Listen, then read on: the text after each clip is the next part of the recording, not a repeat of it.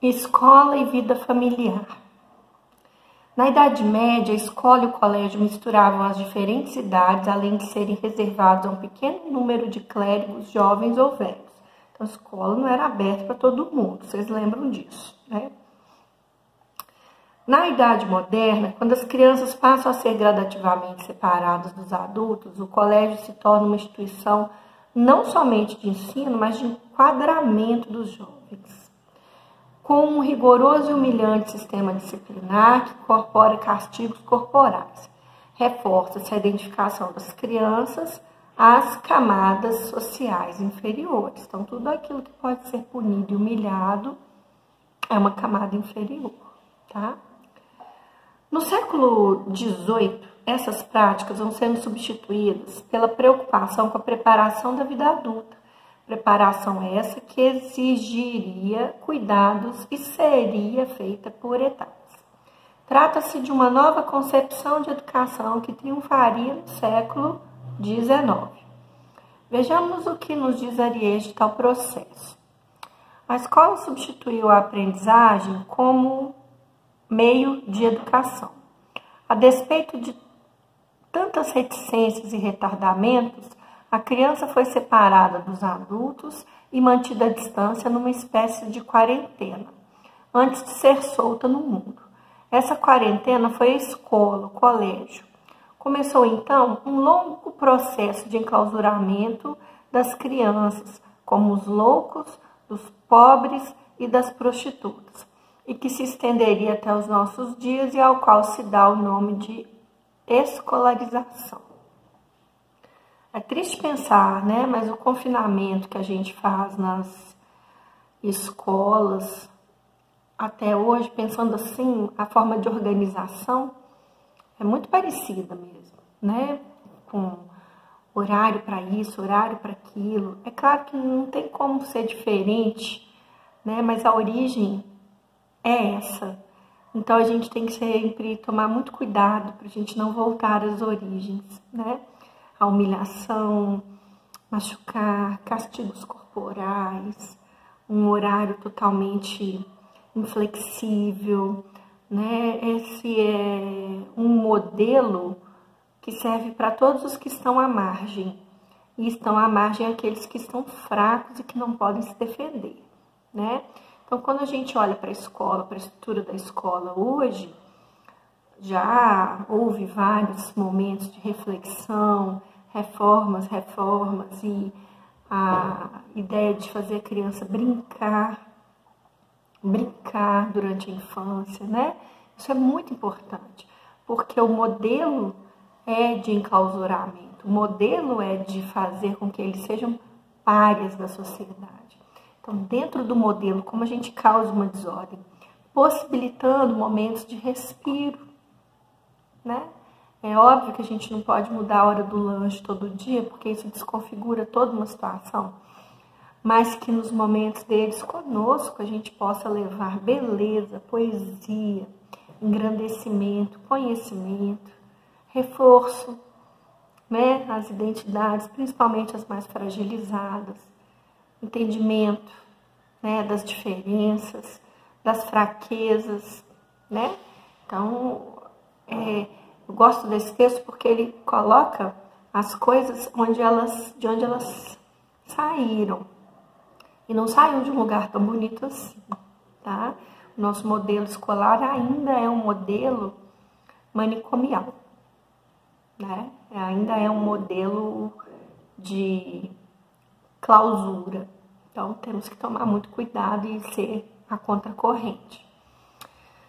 Voltando ao texto, à medida que aumenta a importância dada à criança na idade moderna, cresce a preocupação com a intimidade da vida familiar, emergindo ao lado do sentimento religioso o sentimento de família, que se torna célula social e fundamento do poder monárquico. Isso valeu até o século XIX. A partir do século XX caiu. Nossas famílias hoje são completamente diferentes, né? Famílias multifacetadas, famílias separadas e muitos casos de adoção também, né? Então, mudou tudo. As relações com as crianças são radicalmente alteradas. Se antes era comum o pai colocar o filho aos sete anos na casa de outra família para fazer o serviço pesado e se educar através da aprendizagem direta, agora a escola vai se tornar esse instrumento de iniciação social. Isoladas de uma sociedade suja, a fim de ter sua inocência preservada, as crianças recebem muito mais atenção de seus pais. Durante um bom tempo, contudo, principalmente no século XVIII, os dois tipos de educação coexistiram através da escola e através da experiência. Se se busca uma síntese dos estudos de Ariel sobre a evolução do sentimento de infância da Europa medieval e moderna, é possível chegar a algumas conclusões. No início, insignificante para o adulto, apesar de engraçadinha, dependente, servil inferior, a criança passa a ter atenções as mais diversas que a reduzem, entretanto, a um ser inocente, débil, fraco, imperfeito e racional. A deformação detectada na iconografia medieval persiste, portanto. Carente de cuidados especiais, ela se vê então forçada a sofrer rígido adestramento via educação com um objetivo bem preciso, atingir sua plena maturidade sempre dentro dos padrões de moralidade e normalidade estipulados pela Igreja e pelas incipientes pesquisas psicopedagógicas. Né? Então, a criança que débil, frágil, pobre, submissa, vai ser adestrada, né?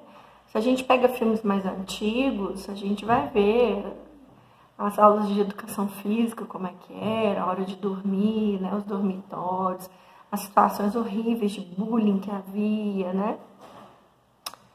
No Brasil, segundo Jurandir Freire Costa, o enquadramento das crianças se evidencia principalmente no século XIX, devido à ação dos médicos e higienistas que procuram revolucionar os costumes familiares, estimulando, estimulando o interesse pela saúde, mas, sobretudo, impondo a todos os membros uma nova moral. Lutando contra a indiferença dos pais em relação aos filhos, característica do período colonial, esses higienistas buscam proteger e cuidar da infância através da educação e criação de hábitos que se tornam, na prática, o mesmo que disciplina e domesticação. O internato pode ser visto como o protótipo desse espaço disciplinar dedicado ao corpo. No micro-universo dos colégios, a higiene antevia a sociedade ideal. As crianças isoladas das influências do ambiente prestavam-se docilmente aos ensaios médicos sobre educação física e moral. O controle da sexualidade, em especial o cuidado em coibir a masturbação, tida como um perigo avassalador para a saúde física, moral e intelectual dos jovens, marca de forma decisiva essa nova tendência da educação, preocupada da mesma forma em dosar o uso da inteligência, já que o seu excesso, conforme preconizam teses médicas da época, poderia provocar até mesmo a loucura dos estudantes, além dos diversos males físicos. Vejamos o que nos diz a respeito Jurandir Costa. Para evitar esses efeitos desastrosos, o aprendizado deveria ser feito gradualmente, moldando-se às idades dos alunos Nessa busca de adequação do grau de aprendizagem às variações da idade, patenteava-se a discrepância entre essa educação e a educação antiga. Então, aqui a gente percebe que eles se atentaram para a importância de seriar, né? Não colocar todo mundo misturado ao mesmo tempo na mesma sala. Eles vão estudando e percebendo como é bom separar o conteúdo a partir da faixa etária. E eles morriam de medo né, de certas coisas, principalmente parte sexual das crianças, de a masturbação levar à loucura, colocava medo nos meninos, nas meninas, enfim. Aqui são os primórdios da educação, como a conhecemos hoje, e eu espero que esse texto seja muito útil para vocês porque foi para mim também.